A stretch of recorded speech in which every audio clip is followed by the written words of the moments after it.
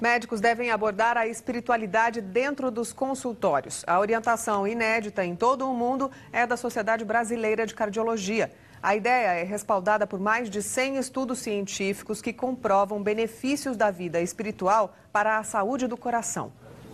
O primeiro desafio dos médicos brasileiros foi definir o que é espiritualidade.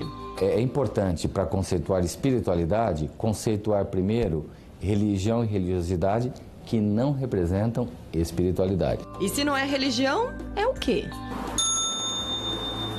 É algo que às vezes a gente usa para justificar algumas coisas que a gente não tem justificativa racional, eu acho. A ideia é essa, como é que eu vejo isso com mais amplitude, né? A minha própria vida e eu mesmo. Espiritualidade para mim é autoconhecimento, onde você consegue ter uma visão plural da vida, né? O grupo de estudos em espiritualidade e medicina da Sociedade Brasileira de Cardiologia criou um conjunto de recomendações sobre o assunto. Para isso, os integrantes do grupo chegaram a um conceito que pode ser mensurado a partir de alguns valores: perdão, altruísmo, compreensão, gratidão, ressentimento mágoa.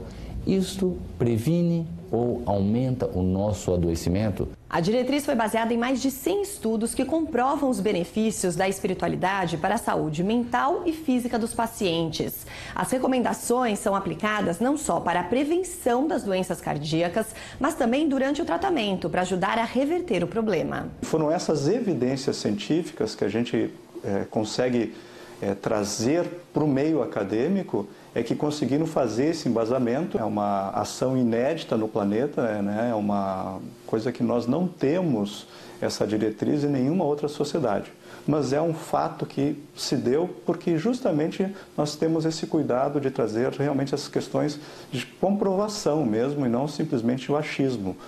Ao todo, são 13 orientações do que o médico deve e não deve fazer ao abordar a vida espiritual do paciente. É recomendado, por exemplo, perguntar sobre a espiritualidade e a forma como linkar emoções como raiva e perdão. Mas o profissional não pode prescrever nenhuma atividade religiosa. O documento diz ainda que o cardiologista deve sentir a abertura dada pelo paciente para indicar alguns caminhos que o ajudem a lidar melhor com sentimentos negativos. Atividade física ela alivia muito essa carga emocional negativa. Segundo, tem pessoas que são propensas a aceitar meditação. As pessoas que meditam, elas tendem a ter pressão arterial mais baixa, elas tendem a se ajustar melhor às situações difíceis.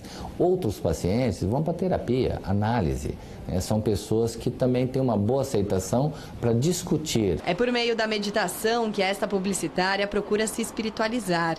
A prática surgiu na vida dela depois de um desconforto físico. Eu tinha palpitações frequentes, né? Parava no ambulatório no trabalho, é, parava no hospital eventualmente, né? E sempre convivendo com uma palpitação, uma arritmia que não é confortável, né? E por que, que é espiritualizar? Porque a, a meditação ela traz essa expansão da consciência. A partir do momento que você consegue silenciar, que você consegue entender quem é realmente você. Há dois anos, a mente da Caroline ficou mais calma e o coração também. Por exemplo, você deixou de sentir raiva? Jamais.